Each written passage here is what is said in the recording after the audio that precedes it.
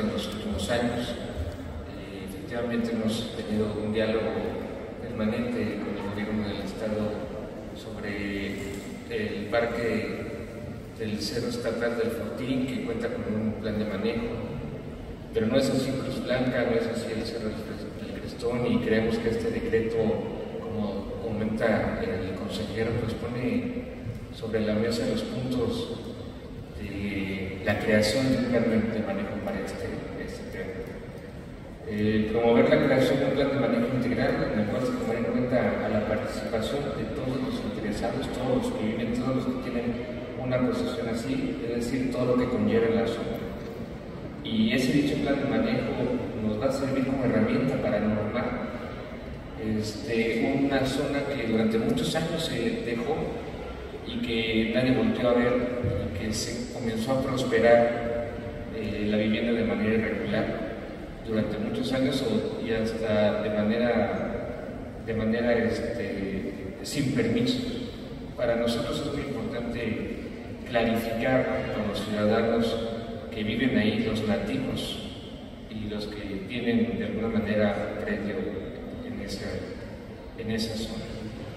Lo anterior es muy importante porque le da certeza política cuanto a la delimitación del polígono, le da también un manejo que se pueda dar los trámites de uso del suelo en el municipio, los números oficiales, los lineamientos, eh, en relación a los legítimos propietarios de inmuebles, tanto como posicionados como comuneros, a las agencias y barrios que ya están establecidas ahí, que son alrededor de 67, nada más por nombrar algunos, estados de Agua, Marte de Río Blanco, Microondas, Providencia, una parte de Bají, el Ejido Guadalupe Victoria, Pueblo Nuevo, el Manantial, la Colonia de Los Ángeles.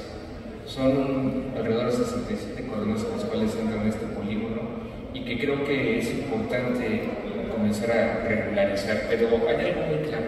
Es importante mencionar que el decreto no es expropiatorio, a nadie se le va a quitar la tierra, a nadie. Dos, eh, no conlleva ninguna demolición, muy importante dejarlo claro porque luego ah, hay gente que se malinforma, ¿no? que se deja llevar por algunos comentarios. Y no se va a remover ninguna vivienda. Lo que sí es importante es que se tenga certeza jurídica. A nadie se le va a perjudicar en su propiedad sino más bien va a tener, va a tener, va a tener certeza jurídica en su propiedad y obviamente pues, tiene, que, tiene que contar con el programa de manejo. Y esto para que tengamos una ciudad con mayor equilibrio tanto ecológico y el derecho de vivienda. Nosotros en el municipio creemos que es muy importante el respeto al medio ambiente y también el respeto a la vivienda digna, la vivienda decorosa como en otras ciudades de Latinoamérica, eh, se puede conllevar el desarrollo urbano con el medio ambiente. Pues tenemos el caso de Medellín, que es una de las ciudades este, que se ha respetado el medio ambiente y, el desarrollo urbano. Creemos que esta ciudad tiene que ser, a partir de este gobierno, este, de manera conjunta con el ayuntamiento, una ciudad mejor planificada para los años venideros. Muchas gracias, consejero. Gracias, Muchas gracias Pablo López por su intervención y en esta parte quisiera que el secretario, ingeniero Isidro, hiciera uso de la palabra y nos explicara a todos de manera, pues en términos muy llanos, ingeniero, cómo se llega a detectar y sobre todo, creo que en tu presentación sí me gustaría que todos vieran el polígono o el anexo gráfico que acompañaba al decreto de 1992. Es un anexo gráfico pues de esas épocas que nadie sabía hasta dónde llegar porque no se tenía una forma técnica de saber. Algunos decían si estoy dentro, otros decían que estoy fuera. Es justamente ahí, pero bueno, le cedo la palabra. Muy buenos días a todos los presentes. Gracias, estimado consejero, gracias regidor, gracias secretario, con el permiso de los medios de comunicación eh, y una disculpa por quitarles un poquito de su paciencia y de su tiempo. Piense que eh, nos llega la instrucción a través del señor consejero jurídico en que habría que llevar a cabo el levantamiento topográfico del anexo gráfico del decreto mediante el cual se estableció la zona de reserva ecológica y área natural protegida, publicado en el periódico oficial del gobierno del estado de Oaxaca el 14 de noviembre de 1992.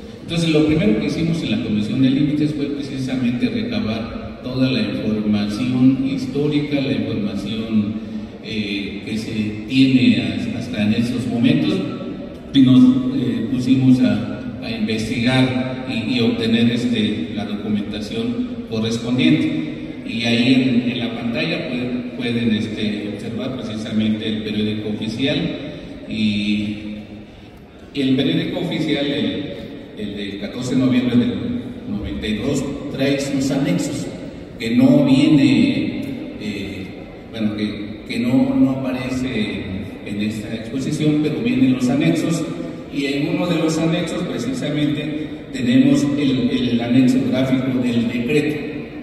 Ese es el, prácticamente es el polígono que se tiene en una carta cartográfica, porque pues en aquel entonces pues, la mayoría de, de, los técnicos hacían uso de las cartas cartográficas del INEGI.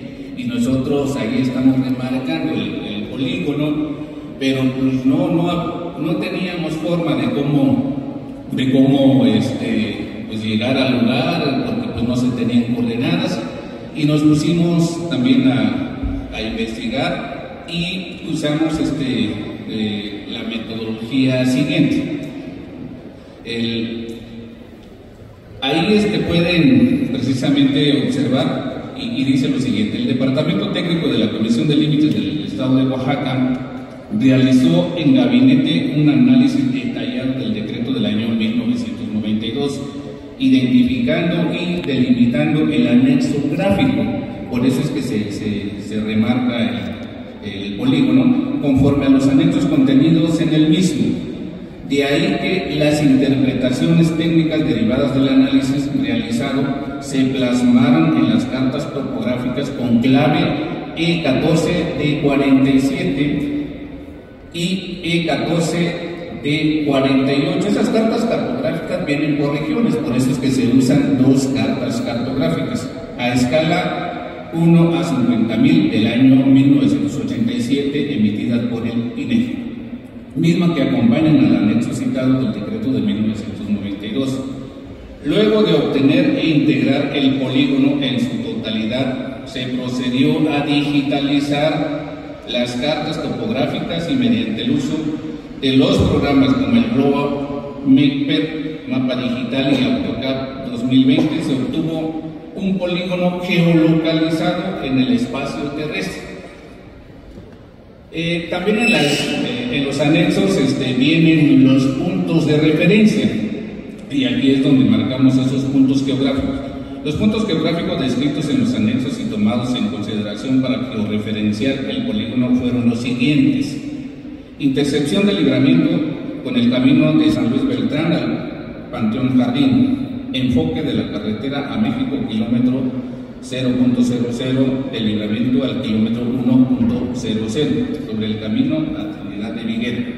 Puente de Trinidad de Viguera, kilómetro 1.200 sobre el puente de Trinidad de Viguera, tomando la curva de nivel 1600 sobre el nivel del mar, de norte a sur hasta intersección con la línea de la Comisión Federal de Electricidad. De este punto hacia el este, sobre la misma línea de la Comisión Federal de Electricidad, al punto de inflexión de la misma línea, se continúa la línea hacia el este hasta el punto de inflexión